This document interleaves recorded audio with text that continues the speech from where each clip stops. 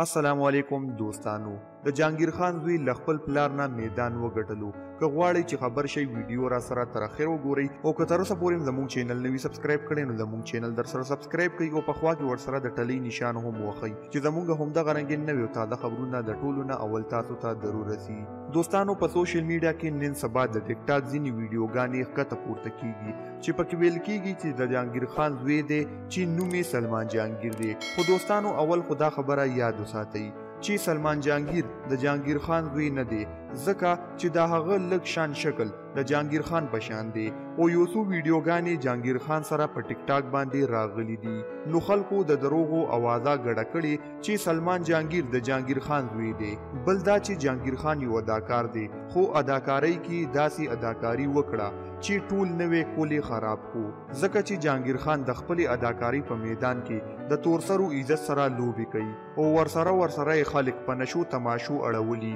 او نوی نسل د ده ټول غلط کارونه خپل کړي دوستانو داسې خلکو ته ډیر عزت مو ورکوئ ځکه چې داسې خلکو زموږ ټوله پښتنه معاشره تباه کړې او کوم سړی چې ځان ته جهانګیر خان وایي شرم نشته پکې چې ولې چې د داسې خراب سړي ایکټینګ کوي او ولې موږ داسې خلک پروموټ کوو موږ له پکار دي چې د داسې ایکټرانو خلاف اواز اوچت کړو ځکه چې دوی پښتنه معاشره تباه کوي جهانګیر خان ته دی الله تعالی د نیکی هدایت وکړي چی نور زموږ پښتنه معاشره خرابه نه کړي په کمنټ کی آمین ولیکئ او تر بل ویډیو مو په لوی الله سپارم.